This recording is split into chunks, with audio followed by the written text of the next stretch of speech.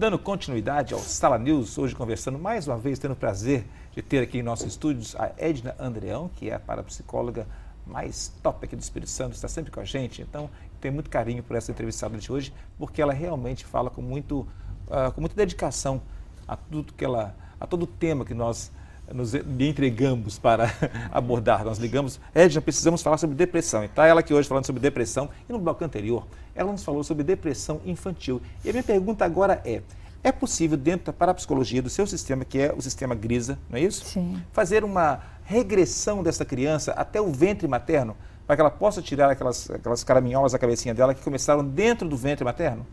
É. A primeira coisa que nós fazemos, eu peço à mamãe, primeiro eu sento com a mamãe, converso com a mamãe, ela me conta a história. Depois a criança vai no meu espaço. Eu vou sentar com a criança, porque aí você percebe, você pergunta como é que está na escola, ela está feliz, papai e a mamãe, ela está feliz. O contexto que ela está convivendo, ela está muito, muito feliz. E daí você fala, então você é muito feliz. Ela fala, ah, mas eu choro choro. Esse choro aí é aquilo que a mamãe já percebe lá em casa. Perfeito. Então, o contexto que ela está inserida não está causando nenhuma situação nela para ela poder é, sofrer. Aí nós vamos atender a mamãe. Aí a gente vai para a mamãe, nós fazemos a regressão na mamãe e revive a história e reconstrói a história da criança no ventre materno. E o resultado loucura. acontece lá. Bom, eu é já vi relatos de pessoas que viram uma regressão como essa, o adulto chega até a se encolher como se estivesse no ventre materno e até fazer sons como se fosse uma criança. Isso é possível mesmo? É. Para isso, Wesley, a pessoa tem que ser, é, é, ter facilidade para isso. Geralmente, aquele filho mais velho que a gente fala, que nós já falamos aqui de pragmático, uhum. o pragmático ele não confia muito no outro, ele tem, já carrega uma programação dentro dele, ninguém vai conseguir fazer em mim. Então, o subconsciente lacra, nós vamos ter dificuldade. Eu tenho um caso que eu tive dificuldade assim. Mas é, é, o normal, principalmente quando os outros filhos, ou eles são idealistas, são sugestionáveis. Então, por ser sugestionável, você leva ele fácil.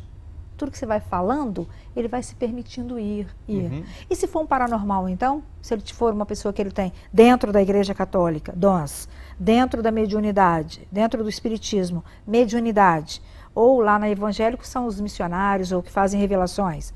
Se essas pessoas têm esse dom, ele é muito fácil de ser levado. Ah, esse vai facilmente. Existe essa conexão com o divino? As pessoas têm conexões especiais com o divino? Na verdade, todo ser humano tem conexão com o divino. Isso você não tenha dúvida, né? Todos nós temos essa ligação com o divino. Tá, o vou divino vou refazer minha pergunta então. Você acha que todos nós, todos nós, muitos de nós, têm realmente esse dom de, de se conectar com o mundo invisível e ver coisas do lado de lá ou trazer coisas do lado de lá para cá? É, não, não são todas as pessoas algumas pessoas existem, e a gente chama isso de paranormalidade dentro da ciência, que parapsicologia é uma ciência.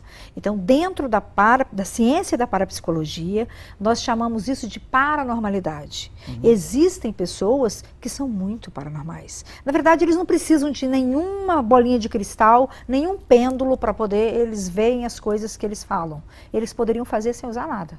Só que eles precisam de alguma coisa para dar segurança. Então, eles utilizam é, esse instrumento uhum. para a segurança dele. Mas é, existem muitos paranormais, muitos, que são fantásticos você ver o resultado. De olhar para você e falar, eu vivi isso. Uma paranormal olhou para mim e falou assim, é, minha, uma cliente, depois que eu fui atendê-la e vi que ela era grande paranormal, ela olhou para mim e falou assim: Você está cheio de nódulos aí, procura um médico, que se não olhar logo vai virar um câncer. E eu fui procurar, eu tenho tudo isso comigo comprovado. E fui procurar o médico, eu não sabia nem o que eu ia falar para o médico, porque eu não sentia nada ruim. Eu falei, vou falar que estou com falta de ar. Aí ele falou, o que, que você tem? Falta de ar. Quanto tempo? Três meses. O que, que você quer? Eu preciso saber por que dessa falta de ar. Fui fazer uma espirometria, espirometria eu tinha perdido 23%, perda respiratória, e eu achei que era estresse, não estava caminhando. Fui para o raio-x, chegou lá dois cistos enormes, um em cada pulmão. Fui para ressonância, eu tinha muitos nódulos nos dois pulmões, no mediastino e na pleura. Daí fui, fiz a biópsia, deu uma doença autoimune que chama sarcoidose. Só que o tratamento da sarcoidose vem por é, corticoide. E eu pedi que eu não queria tomar o corticoide. Eu queria trabalhar dentro da área da parapsicologia. E o médico aqui no início teve uma certa resistência, mas depois ele me acolheu muito bem. E eu fui para São Paulo, para a clínica do Dr. Caliche, Dr. Isídio Caliche. E ele achou o máximo, ele falou, era tudo que eu queria na vida. Alguém que pudesse procurar entender a causa para reverter. E aí de 38 eu caí para 2% de processo inflamatório. Ele falou que nem com corticoide ele viu na história um resultado assim. Né? E hoje está sob controle. Mas veja, foi uma paranormal na minha sala que falou comigo. Ok. E voltando então ao nosso assunto que é a depressão, é. né? No blog anterior falamos sobre crianças deprimidas, regressão até o ventre materno. Mas e os adultos deprimidos? Vamos lá. Uh, me parece também que circunstâncias que não tem nada a ver com o ventre materno podem eh, levar à depressão, não pode não? Uma dívida horrorosa que não consegue ser mas saldada, essa... uma, uma morte de um ente querido. Então, mas esse é o fato desencadeador. O, a, o arquivo já está lá. Ah, entendi. Dentro. Essas, essas coisas que eu disse são as chaves. São, é, são os estímulos, os fatos, as coisas que acontecem para abrir as programações e você entrar no processo de depressão. Então, veja, por que, que a gente trabalha lá? Nós vamos lá na causa. Para construir aquele arquivo lá, para quando viver situações aqui fora não ter mais essa dificuldade. Uhum. Né? Óbvio que o medicamento ajuda, eu quero deixar muito claro, porque primeiro a, a, a depressão começa na, na mente. Né? Então, gerando aquelas características que a gente vai vendo. Depois ela vai para o físico. E aí começa a pessoa sentindo taquicardia, e começa a vir uma porção de coisas para o físico. Então, ela, é, realmente as pessoas sentem aquelas coisas que ela fala no físico. Sabe? Porque a doença vem para cá e depois ela atinge o físico. Então, ela passa, passa de, de, de psicológica, ela passa a ser orgânica. Porque o corpo sofre por isso. Né? Agora, essas pessoas, quando você coloca isso, é porque podem pesquisar se você está depressivo, procura saber a data que você. Como, por quê? Quando que eu, a partir de que. O que, que me aconteceu que eu comecei a viver essa depressão? Você vai achar o fato. Perdeu um ente querido, perde um emprego.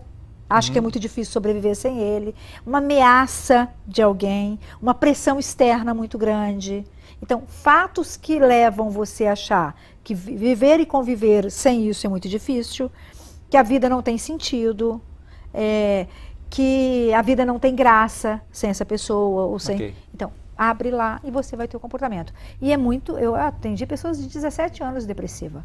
E bom, hoje ela está ótima, graças a Deus. Que bom, amém. E no próximo bloco eu quero saber se os antigos tinham razão quando eles usavam aquela expressão: para de chamar doença, menino. Não chama doença, não. Você está chamando doença.